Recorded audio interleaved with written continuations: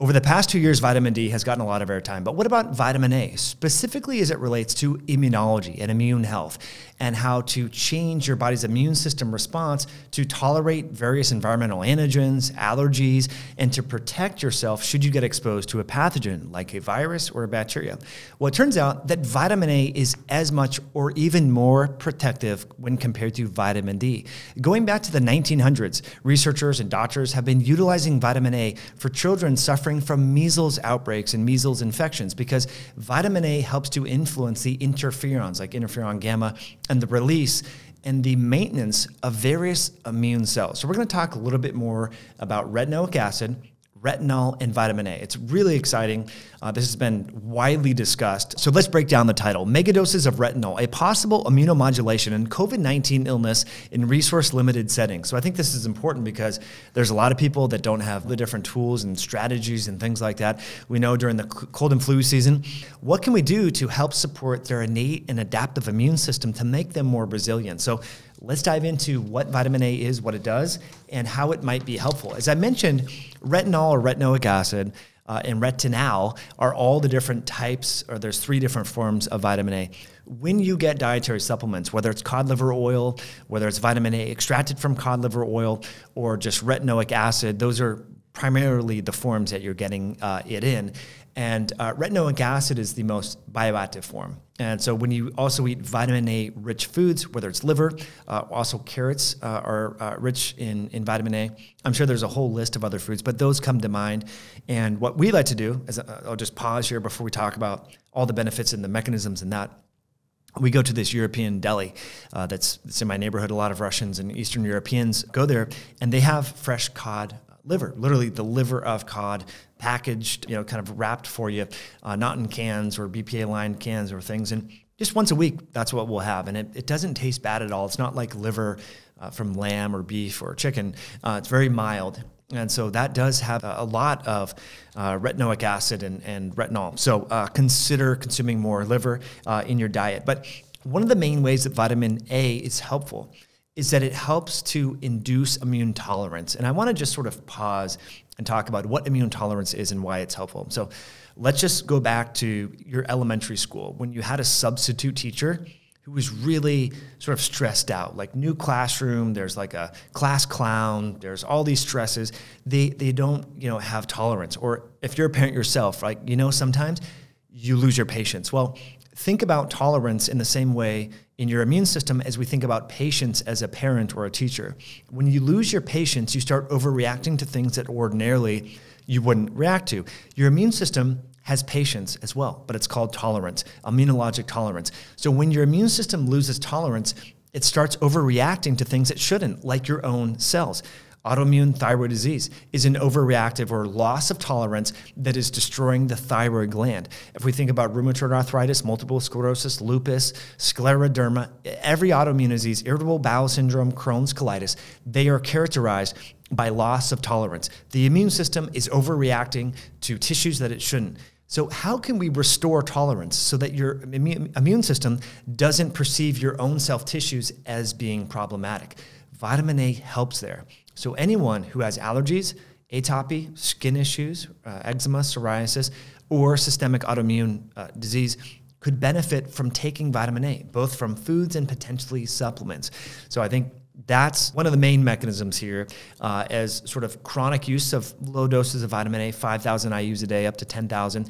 Now, in acute situations where you think you might have contracted an illness or a pathogen or been exposed and you want to ramp up interferon activity, interferon gamma, you can do short term, what's known as supraphysiologic levels of retinoic acid or retinol. So that might look like, I know this sounds like a lot, and again, for the YouTube oligarchs here. We're, we're not diagnosing, treating, curing, or preventing. We're giving medical advice here. This is just actually what scientists talked about in this article. And pregnant women, please do not take supraphysiologic levels of vitamin A.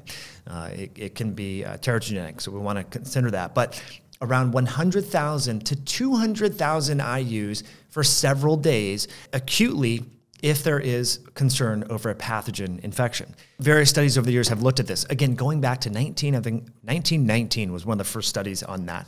Uh, now, Before we continue on, friends, I just want to pause and thank you for being here. It's Mike Mutzel.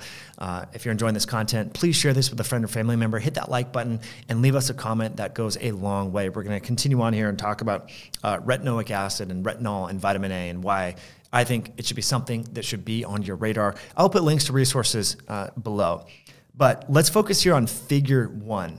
Uh, what you're seeing here is, is retinoic acid. Uh, also, that, that's the most bioactive compound in, in vitamin A.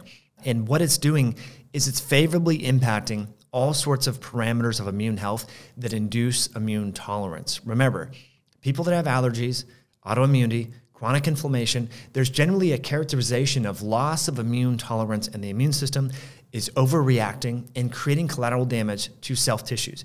And retinoic acid helps to quell that.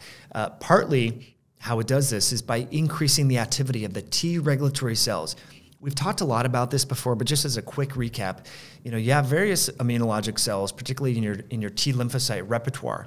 The T regulatory cells help to pull back the unrestrained uh, inflammation and aggression, essentially, uh, you know, towards self tissues. So, who might have a dearth or a lack of healthy T regulatory cells? People that are overweight, people that are obese, people that have increased level of visceral adiposity, because it turns out that leptin is one of these hormones that's released from fat tissue that suppresses the functional activity of the T regulatory cells. And so you can get this loss of immune tolerance by having a metabolic disease. We've talked a lot before about immunometabolism. So you can see here if you have a metabolic disorder where you have obesity, you have insulin resistance, you have all of this, then you can manifest immunologic disease like allergies, autoimmunity, cancer, uh, in, increased susceptibility to severe infections because you, have, because you have this metabolic disease, because the hormone leptin is both involved in metabolism and immunologic regulation. So, what, what's the solution? Well, of course, you got to work on exercise, you know, fasting, compressing your feeding window, eating real food. But on a micronutrient perspective, you could benefit from things like vitamin D and vitamin A because they both help to induce immune tolerance by priming the T regulatory cells, by helping this critical cell type so that when your thyroid is getting destroyed by your own immune system, those T reg cells can say, hey, time out. Why are you destroying the thyroid? This is friendly fire. This is our own gland. We, we don't want to destroy this. We want to focus our energies on pa- invading pathogens, right? So T regulatory cells help to do that and bringing it back to vitamin A, retinoic acid helps to prime the T regulatory cells, uh, in addition to uh, the, the uh, interferon released in the innate immune system. So uh, I just want to read you just, you know, just a few quick quotes here because I think it's uh, important as we continue on here. To summarize, retinoic acid balances the differentiation of T helper cell subsets to maintain immune homeostasis. That's a more eloquent way of talking about what I just mentioned here, with pivoting uh, the pendulum more towards immune balance with the uh, T regulatory cells. And let's finish off with mucosal immunity. This is really important, uh, especially now during sort of the endemic phase of this of this uh, pandemic. Uh, mucosal immunity hasn't really been focused on uh, because you know, we didn't have a tool to support mucosal immunity. And what is this mucosal immunity? It's the uh, immunoglobulin antibodies and T cells that are in the mucous membranes of the nose, of the lungs, of the saliva, and of the gastrointestinal tract. And vitamin A helps to prime those various immune cells that are so important for the mucosal memory uh, and part of the immunity. So it's important to recognize going forward, you know, you might get pathogens in your nose, uh, in your saliva, in your airway. And it's that immune system, the mucosal immune system, that is so important for providing that front line of defense should you get exposed to sort of, you know, help to quell and, or prevent that pathogen from materializing into something systemically problematic. And your mucosal immune system uh, is highly influenced by these fat soluble immunologic supporting uh, micronutrients, vitamin A and vitamin D. So, in, in, closing, if you take vitamin D, a lot of you do, a lot of you are so excited. I've seen your comments. My levels are at 60, my levels are at 90. I take 10,000 IUs a day. I've seen a million and one comments. Everyone is so excited. Please share your excitement for the associated vitamin. Um, that's retinol, vitamin A It's very important for immune health. In fact, the retinoic acid receptor is very close to the vitamin D receptor, and the genes and the co-activating, there's all these complex molecular biologic signaling pathways, they are shared, they are uh, related, and we should be considering both. So support your retinol, support your retinoic acid from a dietary standpoint, and you might want to uh, consider it you know, acute supraphysiologic levels if you're not a pregnant woman, if you get exposed to a pathogen or you want to uh, see what it might do for your allergies. I have friends now as we get closer to spring, they're starting to get more allergies. You know, this could be something to consider, you know, because again, it, it helps to prime those T regulatory cells. So friends, uh, hopefully you enjoyed this video. I will link this article. It was free on the internet. You can check it out. And put, put vitamin A on your radar. Start to start to you know, do more research into vitamin A rich foods and incorporate those into your diet and see what they might do for your life and your health. As always, I appreciate you subscribing. Thank you for sharing this video, and we will catch you on a future one down the road. Bye now.